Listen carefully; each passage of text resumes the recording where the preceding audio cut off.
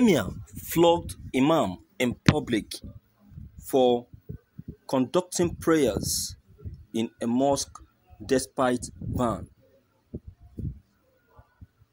Today, Emir of Azare, Bauchi State, directed his Dogaris palace guards to publicly flog an imam who held mosque prayers with more than 10 people, violating the social distancing directive. According to Thought reports, the emir, the imam conducted a jam-packed mosque prayers and this resulted in the emir giving the order for him to be publicly flogged to serve as a scapegoat to others. Thank you for listening to this news. Well, um, viewers, I would say that what the emir has actually done is not wrong anyway.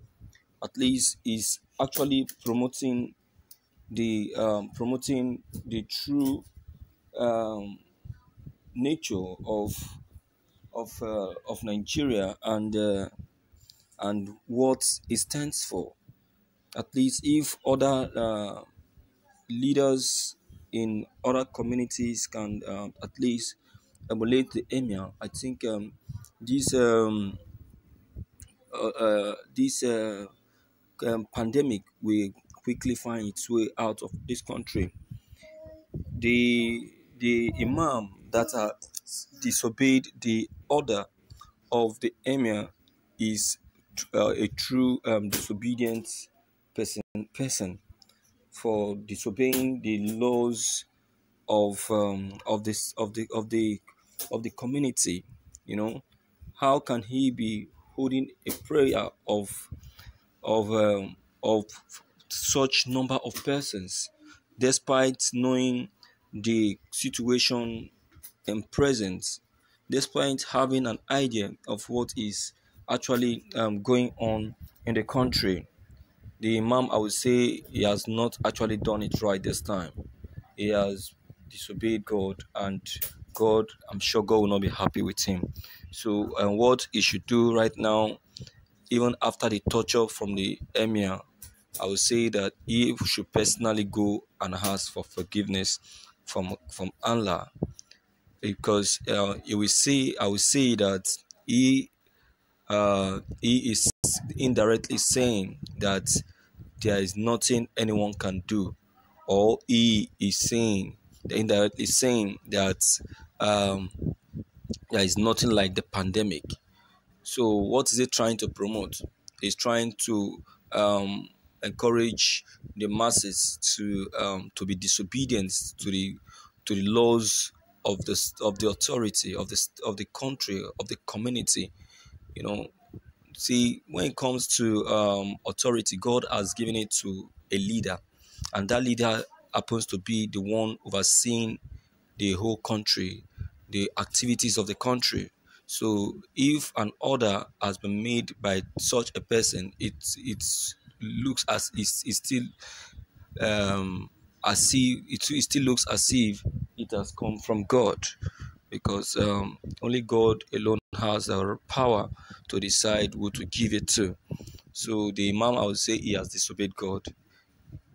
God will not come from heaven to um, to give directives to to um, to um, to control or give instructions.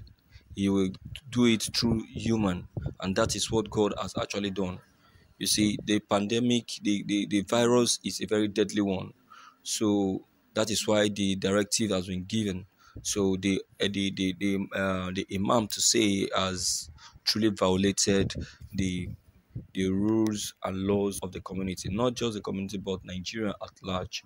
If Nigeria is decided is, is decides to pick it up with him, believe you me, the punishment will be times ten of what the of what the imam has um, has um, done to him.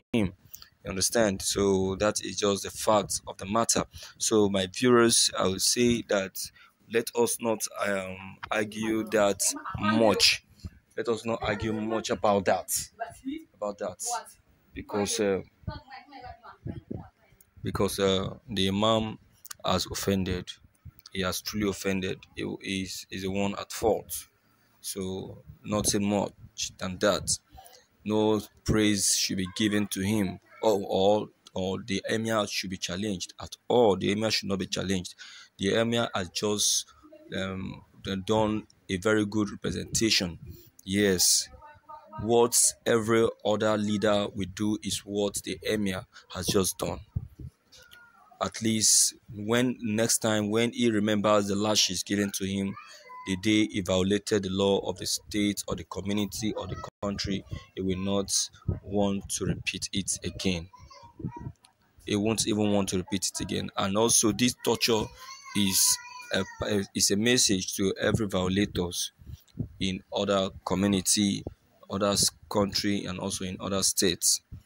Aside from the states that are calling off their their lockdown considering um, the present situation that one is clear. But for one person to violate the law of a state of a, of, a, of, a, of a community or of a state is totally wrong. It's totally wrong. You should come and see what um, Wike is doing to violators in rivers. See what he did to strangers in rivers, how he so much dealt with them and worked them out. What did he do to um, to the oil workers, the ExxonMobil workers that came into the, the states without any formal notice? Yes, that's just it. That's the reality. That's the truth. That's the fact. So um, everyone should try to understand the action of the of the emir is for the good of that community, is for the good of that state, is for the good of the people. You know, um, gathering some and that numbers of people for prayer. What's he trying to pass? Is he trying to say that he is holier than than than uh, than, than uh, Muhammad? What was he trying to say? what is he trying to do? If other um, Muslim brethren and brothers can isolate themselves, maintain social distancing, how much more him? He called himself an imam, imam for that matter, imam that's supposed to even stand as a directive, as as as, as someone to direct the people, the people on how to isolate themselves properly. Imam that's supposed to be a forerunner and a forefront preacher of this pandemic instead of him doing that, he's even um is even um, messing up um, the right uh, messing up the the law of the state. Do you understand? So my viewers i will say that the imam has actually done it wrong. He has actually gone wrong by doing this. So um, nobody should argue that fact. Nobody should argue that uh, this, this act of uh, of the emir, because at least is for the good of uh, of that community.